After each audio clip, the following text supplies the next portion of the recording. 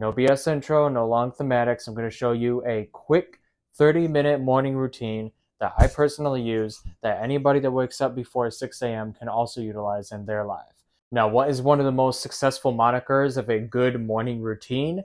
A good previous night's setup. So, the first thing to a good morning routine is to make sure that you are set up for the morning so everything can go smoothly. Step one, make sure that you have all your clothing organized. As an example, personally, I have my workout clothing right over here. That's for workouts. And then I have all of my hangout clothes right here for when I'm just hanging out and going out. And then I have my towels all in one spot. I have my shirt, my work shirts, and my blazers and everything else I need for work right here in the middle. And then over here I have miscellaneous clothing. It's a neatly organized closet, and the only thing that I don't have in the closet are underwear and socks. I set my work pair of pants for my factory right here every single morning, along with a belt, so that way I can put on my underwear, socks, pants, and then I just grab a shirt and go. Step two is that we need to actually get something in our belly.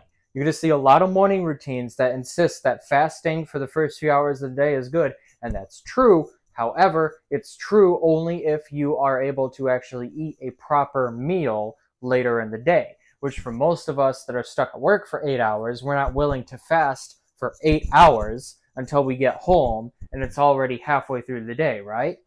So that's why I personally have a simplified eggnog breakfast. And this original recipe was from another YouTuber called Kaal Raam. I'll link his video down in the description below for actually how to make it properly.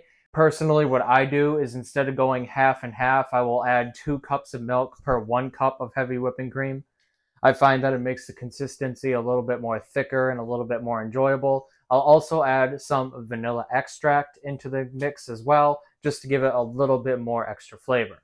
Now, the amount that I make is good for anywhere between three to four days, depending on how conservative you want to be with it.